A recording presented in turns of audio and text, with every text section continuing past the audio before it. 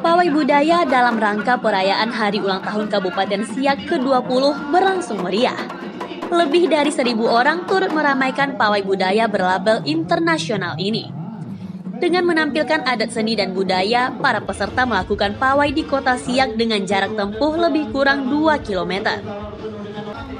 Para peserta diberangkatkan dari depan Istana Siak dengan mengelilingi kota hingga kembali ke depan istana sejumlah peserta daerah masing-masing akan menunjukkan adat budaya dan kesenian.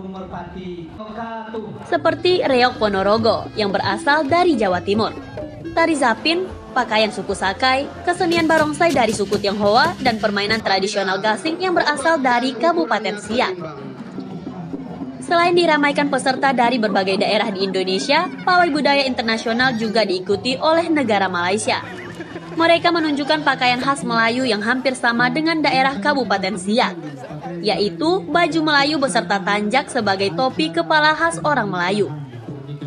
Pawai Budaya Internasional 2019 di Siak Singapura ini bersempena dengan HUT Kabupaten Siak rangkaian pada Festival Siak Permadah dan Festival Kabupaten Lestari Indonesia ini diikuti ada 24 tim ya, 14 eh, tim dari setiap kecamatan dan 10 dari luar Kabupaten Siak.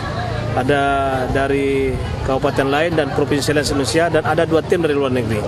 Ya, Alhamdulillah ini berjalan dengan sukses dan lancar. Tentu ini membawa misi bagaimana memperkenalkan budaya masing-masing daerah, provinsi dan luar negeri, tapi dalam rumpun seni budaya Melayu.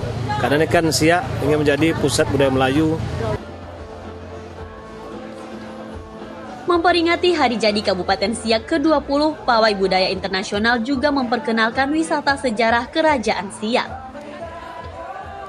Pawai Budaya Internasional ini akan digelar tiap tahunnya, hingga bisa menarik turis asing datang ke Kabupaten Siak sebagai salah satu destinasi wisata sejarah Islam Matahari Timur.